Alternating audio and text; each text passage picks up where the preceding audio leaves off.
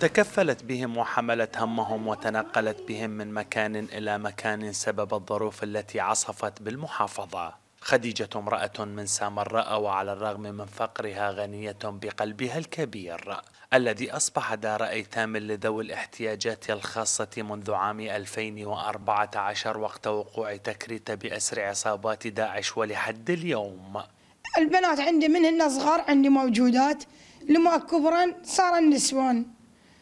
البنات هن معاقات واحتياجات خاصة. والكبر كبرا هن كل أهلهم كبر وياهن. وناشد الخيرين وناشد أهل الغيرة وأهل وناشد رئيس الوزراء. وما عندي كل أحد غير الله وهم. ورحم الله على رئيس الوزراء. وأريد لهم سكن أريد لهم دار لهم ألمهم به. ورحم الله والديه وبارك الله به وجزاه ألف خير. الذين يعرفون هذه الإنسانة الطيبة عدوها مجاهدة بعملها الذي عجزت عنه الأمهات الرحيمات. داعين الحكومة وميسوري الحال إعانتها والالتفات إليها. حقيقة نفتخر بها ونشد عليها ونقول هاي يعني من النساء الفاضلات من النساء المربيات الحقيقيات.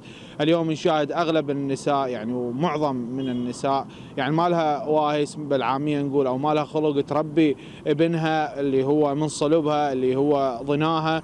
وهاي المرأة حقيقة مرأة مكافحة آه، احتوت هؤلاء الأطفال وربتهم واعتنت بهم. هذه المرأة أنا أعتبرها مجاهدة وكل جهدها حتى فراش قليل عندهم يعني إحنا نساعدهم بس نطلب من الجهات المسؤولة نطلب من الميسورية الحال أن يتجهون إلى هذه المرأة وهي تسكن في منطقة الخضراء في عمارة سكنية شقة صغيرة.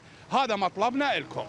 مثال حي للرحمة والإنسانية الحقة. جسدتها هذه السيدة الفاضلة برعايتها لسبع بنات من ذوي الاحتياجات الخاصة. لتكون لهم الأم والأب والطبيب والمسكن والوطن. من صلاح الدين فراس الحسني التغيير